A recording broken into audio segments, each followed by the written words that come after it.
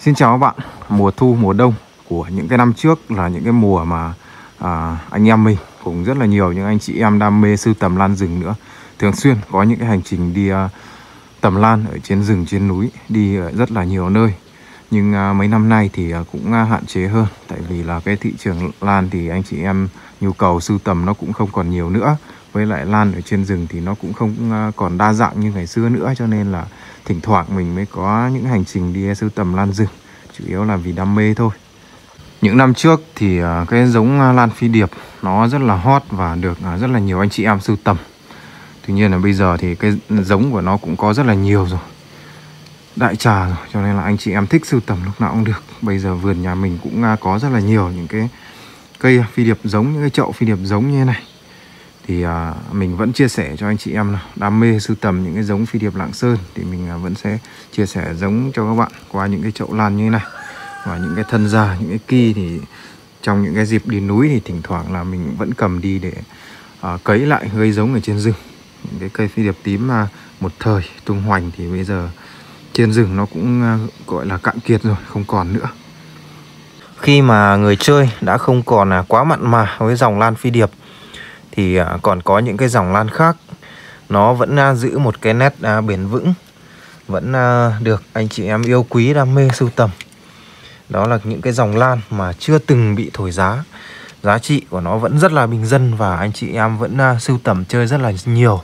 Và bây giờ thì như những cái cây lan hải này, đấy, hoa của nó thì nhỏ bé nhưng rất là đẹp thì à, đối với dòng lan hài thì cũng à, có rất là đa dạng chủng loại, có những loại thì à, có số lượng rất là nhiều trong tự nhiên và dễ dàng tìm kiếm được. Thì giá trị của nó cũng rất là bình dân, nhưng cũng có những cái loài lan hài bây giờ nó cũng rất là hiếm và giá trị của nó thì khá là cao. Để sưu tầm được thì cũng không phải là dễ dàng gì. Cái video ngày hôm trước thì mình có lên video để chia sẻ cho các bạn những cây chậu lan hài hương một à, vài những cái chậu gọi là mình còn trồng lại để bảo tồn. Mình à, không có bán hết thì à, bây giờ mình trồng thì nó cũng à, rất là tốt nó xanh tốt và phát triển à, cực kỳ là đẹp luôn. Thì mình lên video thì cũng có nhiều anh chị em nhắn tin hỏi mua quá nhưng mà những cái chậu lan hài mà mình trồng như thế này này các bạn này thì cái hệ thống rễ của nó ví dụ một cái cây lan hài mình ở cái góc này nhưng mà cái rễ của nó có khi nó đã đi sang tận góc bên này rồi. Đấy cho nên là cái hệ thống bên dưới cái chậu này là rễ của nó cuộn hết vào nhau.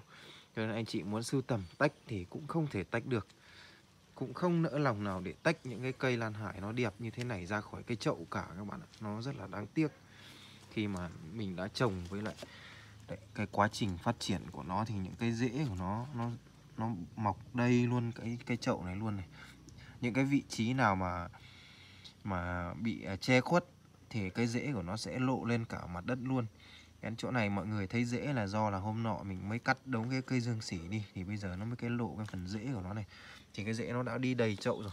Mình động vào một cây thì cũng ảnh hưởng đến cả cả cái chậu này luôn, cho nên mình không nỡ lòng nào mà mình mình động vào những cái cây này nữa, mình trồng lại để bảo tồn thôi. Nhưng mà mình cũng vẫn còn một vài những cái khay nhỏ nhỏ. Thì có mấy anh chị em hỏi sưu tầm thì hôm nay mình vẫn phải cố gắng tách một chút để chia cho anh em đam mê. Có mấy cái loài lan hài. Hiện nay thì à, trong tự nhiên nó cực kỳ hiếm rồi ở ngoài mình. Đó là cái cây lan hài hương mà mình đang sở hữu này.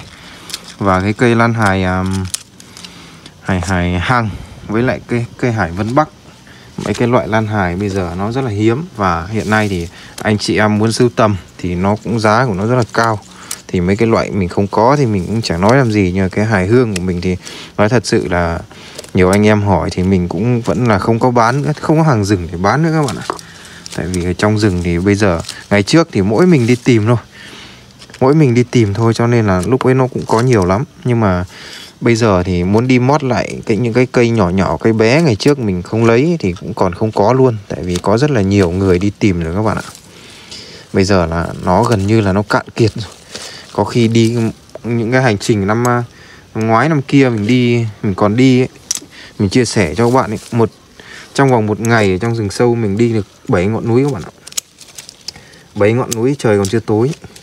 Nhưng mà trong khi đó chỉ được có cỡ hơn chục cây lan hài. Đó là tỷ lệ nó quá ít. Đấy là kinh nghiệm của mình đi là mình đi lúc nào cũng đi vào đúng cái hướng lan hải nó mọc đúng cái địa hình đẹp thì mình mới đi chỗ nào cũng đã từng có nhưng mà cũng đã từng có người lấy qua. Nhưng bây giờ là gần như là trong tự nhiên nó cạn kiệt rồi. Cái cây hài hương này. Đấy là mình chỉ trồng lại được một số để giữ giống thôi. Cho nên là cũng nhiều khi nhiều anh em hỏi là cũng thông cảm là không có giống. Hôm nay thì mình cũng à, tình cờ đấy. À, có ông anh thì cũng hỏi mãi thì mình cũng phải để cho cho một khóm. Thì mình đang chuẩn bị tách à, cắt tỉa qua mấy cái này đã. Thì à, lại tình cờ thế này các bạn ạ đâu nhỉ? Đây. Chậu lan hải hương. Mọi người có thấy eh, có nét đặc biệt gì không? Cái lá mới lên này các bạn này. Cây này là một cái cây hải hương lá sọc. Ngày trước mình đi à, mình từng à, kiếm được một cái cây hải hương lá sọc mà sọc đẹp nhất trong những cái cây hải hương luôn. Theo như những gì gọi là mình biết ở trên à, các cái hội nhóm về lan hải của Việt Nam mình thì cái cây lan hải hương của mình nó là cái cây à, gọi là đẹp nhất, hoàn hảo nhất. Có cả sọc trắng, có cả sọc vàng. Mà sọc đầy đủ các lá rất là đẹp. Trước mình có quay video cho các bạn xem ấy. nhưng mà cây đấy thì cũng duyên thì cũng chỉ đến một lần thôi các bạn ạ. Không phải dễ dàng gì mà kiếm được. Và mình cũng chia sẻ luôn cho mấy anh em sưu tầm và đã giao lưu thì bây giờ cũng mình cũng vẫn biết là có ông ông anh sở hữu cái cây đấy là nó phải đánh giá nó là quá đẳng cấp. Hôm nay tình cờ cắt tỉa ở đây lại lại lên một cái cây cây sọc này các bạn này. Nhưng mà sọc này thì cũng bình thường thôi.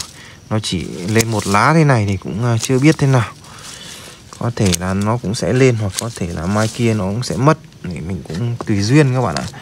Nhưng mà cũng vui vui, đấy. Trồng nhiều cây thì đôi khi là nó cũng có những cái niềm vui bất ngờ đấy các bạn này lên một cái lá sọc các bạn nhé. Hình như là những cái lá cũ của nó cũng có một tí nhưng mà nó mờ mờ các bạn ạ. Rất khó để phát hiện.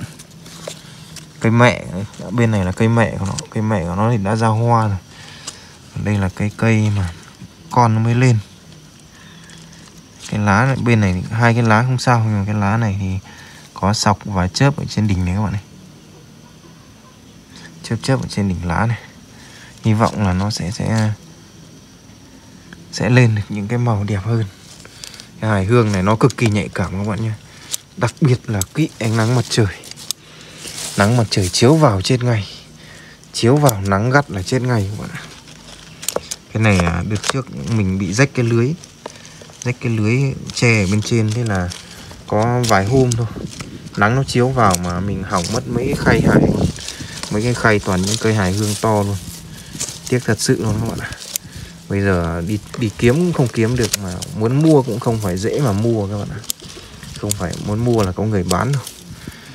Những cái mối đi rừng, những cái mối hàng rừng thì là hầu như anh em cứ lấy về là sẽ bán ngay, nhưng mà bây giờ đi rừng lại không kiếm được nữa. Đâm ra là rất khó. Kiếm được hàng để chơi, để sưu tầm những cái cây lan hải hương như này.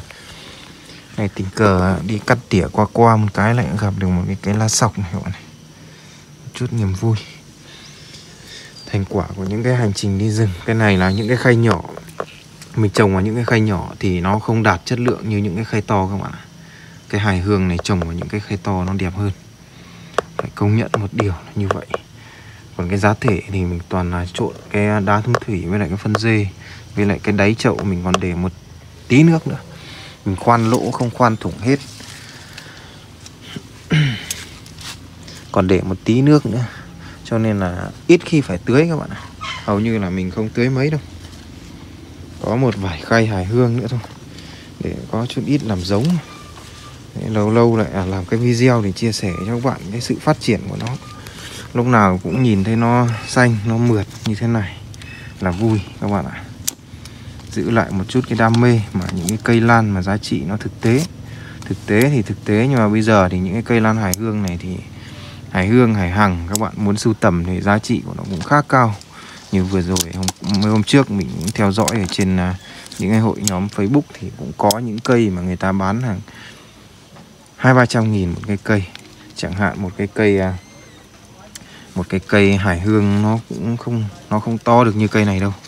Nó nhỏ hơn cây này mà một cây riêng như thế này thôi không phải có con có cháu chút chít rể gì đâu các bạn ấy một cái cây nó lá nó như thế này lá đẹp như thế này hai trăm rưỡi một cây có những cái rể có những cái rể mà nó không thể so sánh với cái rể này đâu. Ở đây mình có một cái rể to này không thể so sánh với cái rể này đâu mà người ta tính bằng tiền triệu. Mà nhanh tay thì mới mua được. Ngày trước mình bán cho các bạn có những rể gần một cân có những rể lan hải hương gần một cân. Nó phải gấp ba cái rể này các bạn ạ. Nó phải gấp ba cái rể này. Có mấy trăm nghìn nhưng mà bây giờ thì mấy triệu cũng mua hơi khó. Cái, kiểu cái những cái hàng hàng rể mà nó đẹp chất lượng lá ngắn những cái cây hài lá ngắn ấy. bây giờ thì hiếm lắm, với giá trị cao lắm. Nhu cầu anh em sưu tầm bây giờ, người ta, những người người ta có điều kiện, ngày trước người ta chơi phi điệp mà toàn chơi mà tính bằng tiền trăm, tiền tỷ thôi. Bây giờ người ta chơi thực tế một tí, quay sang chơi mấy cây lan hài nó, so với cái thời đấy thì nó chả là cái gì các bạn ạ. Cây lan hài nó, giá trị nó rất là bình dân, giá trị sưu tầm nó thực tế cực kỳ luôn mình thì cũng may may trồng lại được mấy cây. Như cái cây này, đẹp này các bạn này. Ngày trước nó không phải đẹp như này đâu, lá nó dài lắm, nhưng mà mình trồng thuần lên. Bây giờ lá nó to mà nó ngắn. Lâu lâu lên cái video chia sẻ với các bạn. Rảnh rỗi ngày mưa các bạn ạ. Mấy hôm nay thì mình lại không được đi rừng mấy. Chỗ mình thì nó lại thất thường quá. Vừa mới nắng được à, nắng gió được mấy hôm hôm nay lại chuyển sang mưa rồi cắt bớt mấy cái lá này, bành trướng quá. Lại chuyển sang mưa lạnh, không khí lạnh như các bạn. Chỗ mình bây giờ thời tiết đang à, phải mặc đi ra đường là phải mặc áo khoác rồi đấy. Hôm nay thì lên quanh ở nhà lại làm cái video chia sẻ với các bạn vẻ đẹp của những cái cây lan hải. Cảm ơn các bạn đã theo dõi những hành trình của mình nhé. Hẹn gặp lại các bạn trong video sau.